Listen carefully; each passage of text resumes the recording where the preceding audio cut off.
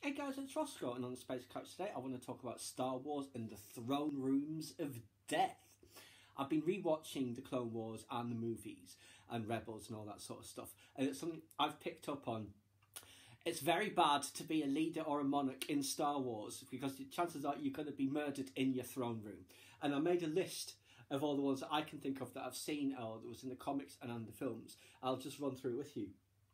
In the first episode of the Clone Wars, King Katuunko of Toydaria is introduced. You know, like Asajj Ventress and Yoda are trying to for his political affections. Later on, of course, because he sides with the Republic, he gets chucked out in his throne room by Savage Opress, falls to the ground, splat. Very dignified. Also, in the Clone Wars, I forget which season, the um, the slaver queen of Zygerria, you know, the ones that kind of look like werewolves. She also gets choked out by Count Dooku in her throne room, though she dies on Anakin's ship. Yes, not a good fate for her. Um, the fake king of Onderon, I think it's King Rafe, Rays, something like that. The one who's dressed like Caesar, shot to death on his throne by Kalani the droid. Deary, deary me. And who knows what would have happened to the real king of Onderon once the Empire took control. I assume he wouldn't have lasted that long either. Now, obviously, Duchess Satine of Mandalore, she gets skewered on Darth Maul's lightsaber after getting choked out for a bit first in front of Obi Wan. Um, Lee Char of Mon Cala, his father, is murdered in his throne room, and obviously Lee Char's fate is not a pleasant one either. He gets taken captive by the Empire after the uprising uh, in uh, the Darth Vader comic, and then when that's then reflected in the Star Wars comic, he is then murdered in a crossfire by the Imperials, giving his life to help free his people, though.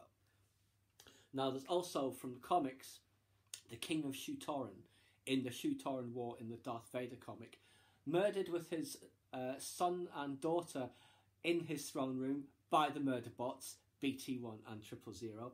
And of course, later, Queen Trios, his daughter, she dies on Shu-Torun um, uh, when the rebels try and take their revenge, as it were, for the uh, attack on the fleet when they're going to destabilize the planet. And she meets her end that way. Uh, the Star Wars Doctor Aphra crossover, The Screaming Citadel. The Queen of the Screaming Citadel is killed in her palace by Luke Skywalker, though he's also under the control of one of those Abyssin symbiotes as well as she is. Um, got to mention, of course, Queen Breha and Bail Organa of Alderaan in the um, uh, certain point of view book. One of the stories is um, on the palace in Alderaan when the Death Star fires. So they're dead in their palace along with everyone else on that planet. Uh, Jabba the Hutt on his sail barge, the Crime Lord, choked out by Princess Leia and her chains, Leia the Hutt Slayer.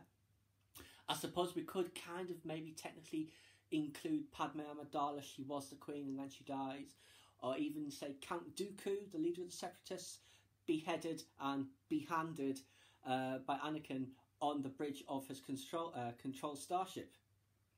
Um, but also the main ones, of course, Palpatine twice, thrown down the shaft uh, in his throne room on the Death Star, and then blasted into atoms on Exegol along with the Sith throne. and of course, finally, the only one I can remember for now, there's probably a couple of others, let me know if you can think of any, is of course Supreme Leader Snoke, cut in half on his throne. So, very bad to be a monarch or a leader or a duchess or an emperor or whatever in Star Wars. It will not end well for you. So, that is just something that I picked up from my rewatch of um, the canon so far. Watching the Clone Wars and then Revenge of the Sith is a very satisfying experience. Um, especially Revenge of the Sith is given a lot more context. Um, but anyway, that is just what I picked up so far. If I do think of others, I'll let you know.